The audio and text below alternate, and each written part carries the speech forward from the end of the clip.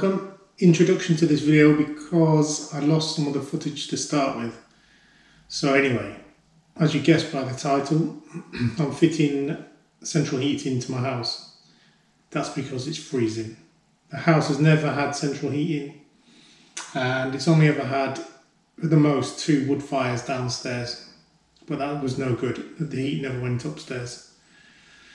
Um, okay, so the options in France to heat your house are one, uh, gas-fired central heating, as in the UK. Um, but unless you're in a town centre, a big big town, you're not going to have gas. Oil-fired central heating, um, exactly the same as in the UK. You have a tank outside; it gets filled up, and and uh, you have a boiler inside, or um, gas-fired on LPG, which is similar to the oil. So you have a gas boiler, but it runs off a big tank in your front garden. And then, last but not least, electric. Uh, now, to heat your house with electric is expensive, uh, very expensive. Um, so, they in France they're pushing the um, uh, what do you call them heat pumps. Um, now, the problem I've got is this house is not well insulated and it's drafty, it's massive, it's made of stone, uh, it's got double glazing, but that's it. I don't think the heat pump will be good enough to heat the house through radiators. You could put uh, underfloor heating in, but that would just be a massive upheaval. Um, especially with the floors, quite a lot of them are wood, so that wouldn't work very well either. So I need to work out how to heat this house with electricity using a heat pump. Now there are two types. One is a low temperature one, so the water coming out is about 40 degrees to 45 degrees. Then there's a high temperature one, which is exactly the same as a boiler output temperature of around 70 to 75. But how would I know which one to pick? Uh, the low temperature one is about three and a half grand. The high temperature one is about five and a half. And it's not very efficient. We'll go into all that later on, I think, because um, probably no one's watched this intro anyway. They probably skipped on. But anyway, so I've decided to split this into a couple of parts. This one is finding radiators, sourcing them, fitting them, running the pipe work and show you the setup that I've come up with in order to test whether a low temperature would do the job. Crazy. Anyway, we'll join the video me having gone and collected some radiators from uh, an architectural salvage place. Now the radiators you'll see are quite expensive, about £400 per radiator if you bought them uh, from a shop. Um, but these uh, were about 60, 60 euros a radiator, sometimes less, um, just because they were over, over order. Anyway, you can now rejoin the video with me having collected those radiators. Okay, so this one I was in a loft. It was mine a long time ago. I just, just put it in the loft as you can see. It's quite dirty but it didn't cost me anything. This radiator is brand new, and um, my brother uh, over-ordered by one radiator. Um, so I agreed to do some work at his house, and uh, he gave me this, which is good. This radiator at the back there, I picked up yesterday um, on a classified ad site in France, Le Bon Coin. I'm sure that's exactly how they say it as well. Um, 30 euros. Right, so I've just got back. Um, 30 minute drive with one, two, three, four, five new radiators, brand new in packaging. Alright, all with brackets so I paid 260 euros for all five. So that's pretty good. Right so I've done some research on these particular radiators and the lowest they'll work is 30 degrees. Um, we're talking about the circulated primary circuit water temperature, 30 degrees centigrade. The maximum is 175. And it gives you a little cheeky little. So at 30 degrees, it gives out 645 watts. And we're more interested in the 50 50 degrees, 1288 watts. Uh, so we can use that to work out what radiator is best for which room and where they're going to go. Okay, so there's two types of radiators. Um, there's this type um, where there's a bottom entry. Let's see if you can see that. Two tabs there. And uh, that's that one there. Um, then the other type of radiator is the standard one that you recognise in the UK where you have two radiator valves one on each end. Okay, with the bottom feed type of radiator, you get flow and return in here, um, and it needs to be the right connection. Because what happens is the flow, there's an internal pipe in the radiator which comes up, you can see there, goes into this T-piece, which is controlled by a um, thermostatic valve in there. And then what you end up with is something like this radiator with a thermostat on the side it's quite standard in France however that won't fit in eventually with my plans but for the moment I'm going to put a um, thermostatic valve in there and then eventually that will just be blanked off so the reason I'm using manuals and not thermostatic will become apparent later on. But for the moment, um, when when the heating's turned on, all radiators will be turned on. You have to turn it on and off individually with these. So they come pre uh, with 3 eighths um, thread, but they handily give you an adapter for half inch, which these are.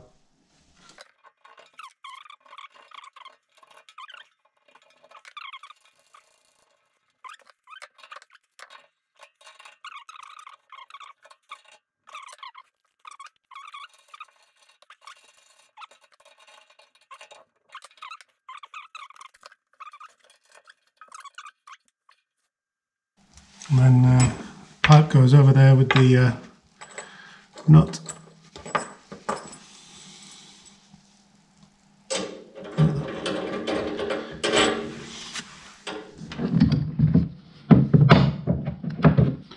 Okay, so the other pipe goes through there.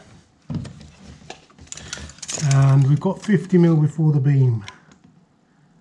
So we, it's 40 mil to our mark and the beam starts there. So I think we'll just get away with it.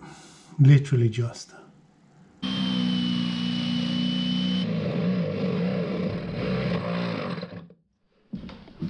we go.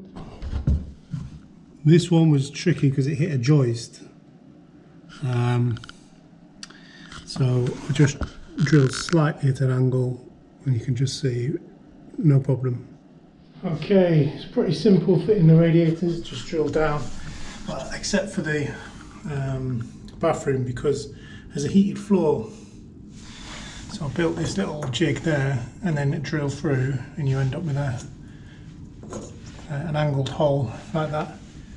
So hopefully that'll help us out, but I'm not, I'm not entirely certain where this is going to end up. So I do the same on the other side and then uh, see where it comes out.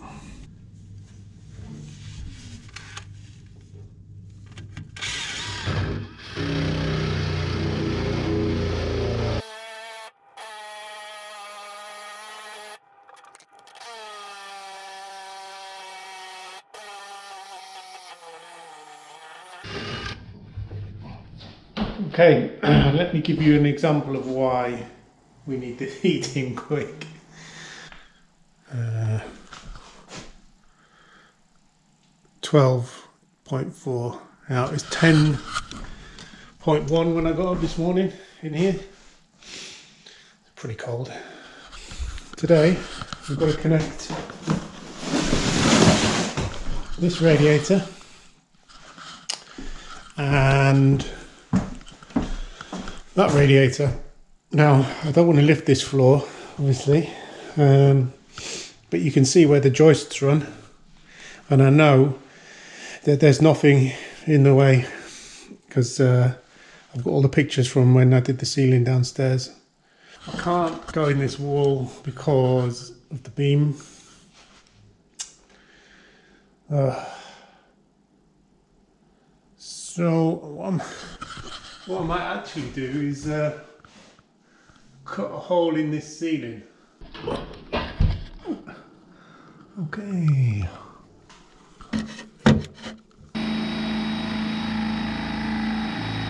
Right, well, that escalated a bit. I'm also running a cable that will go in there terrible, terrible lighting.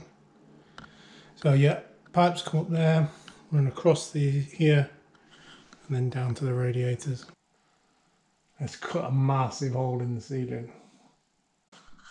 Right, there both pipes are in, done. okay, so I've labelled these up. And then I've got uh, our connectors there Okay, so that all the ones, all the pipes from this side of the house, uh, they start over there,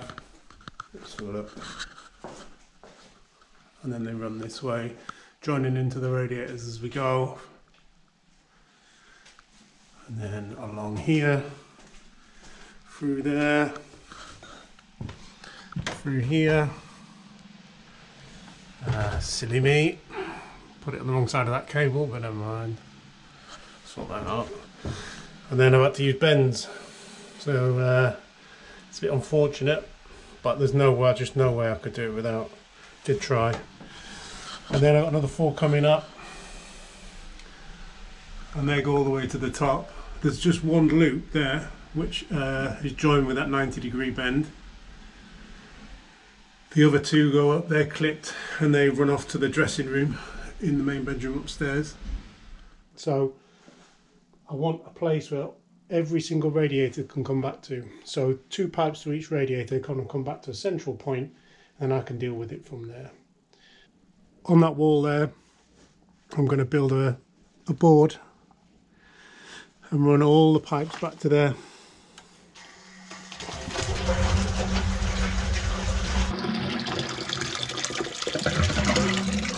So these wires, again, were all temporary when I didn't know where anything was going.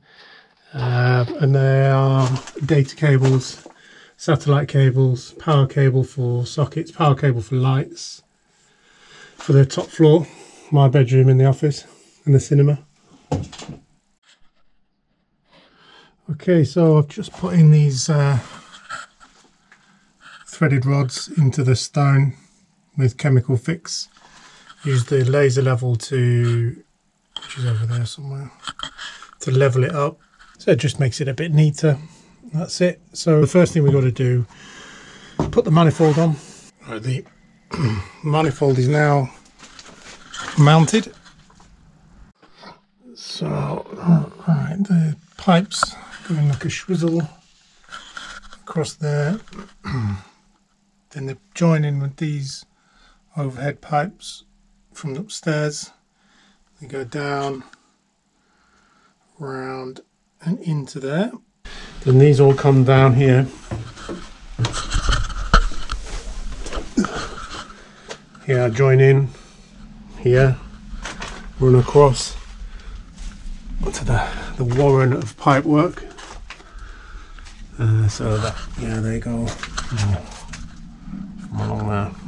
Join those. Uh, so you've got these six over here from downstairs, the lounge, they come across.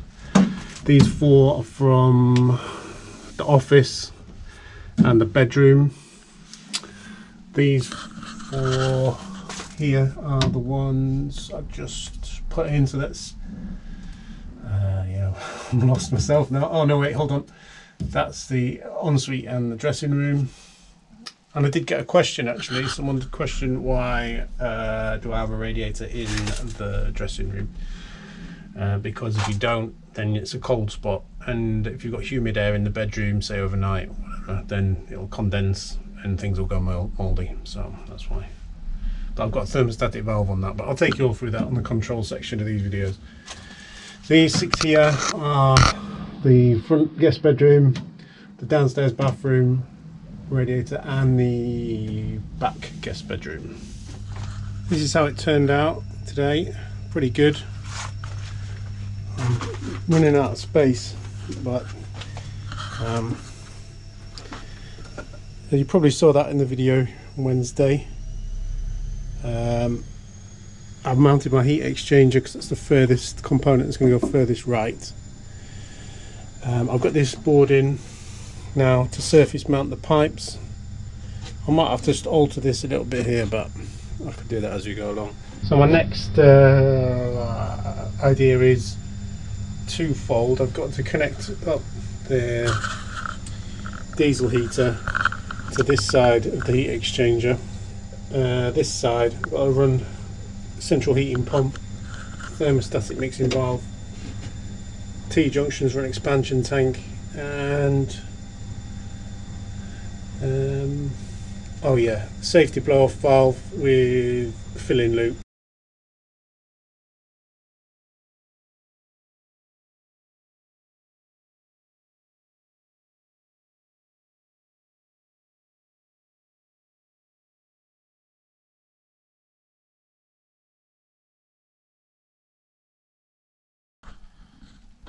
So, uh, okay, we've got the heat exchanger um, flow out from the heat exchanger goes into the thermostatic valve which mixes with the return water to give us whatever temperature we want by regulating this. That's the filling loop and also safety valve. So if um,